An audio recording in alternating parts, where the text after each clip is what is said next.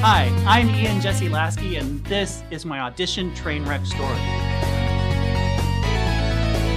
So I get a, a, an audition for a role that would have changed my life. It was a reoccurring dad role in a TV sitcom. And um, I get there and I'm really happy to be there and I, and I tell everybody, hi, how are you doing? And I make small talk to build rapport and I ask them, hey, how's the baseball team doing? How's the lunch? And uh, I just get an eye roll.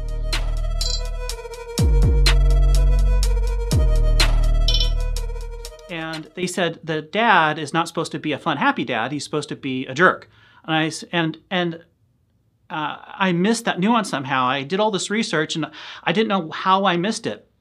But uh, I started getting down on myself because of it, and then I started thinking I was the worst one there, and I didn't deserve it, and and uh, so um, during my audition I started stuttering, and at this point my audition is in this giant nosedive. It's going like this.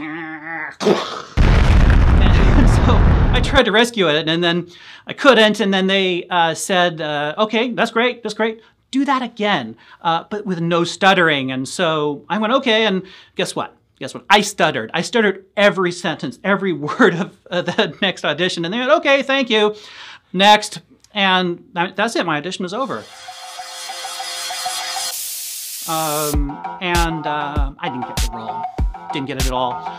But I learned an important lesson that um, we are our own worst enemies when it comes to auditioning. We get in our own way all the time. And, um, you know, you, you, just have to not judge your uh, acting ability, especially in the audition room. You have to uh, just trust that you can give the best performance that you can. It is your job to act, it's their job to judge you, and you don't have control over anything else.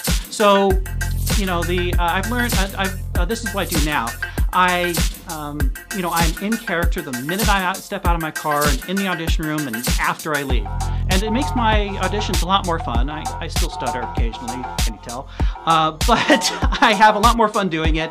And that's what it's all about. That's what acting is all about, having fun. Because if you're not fun, why are you doing it?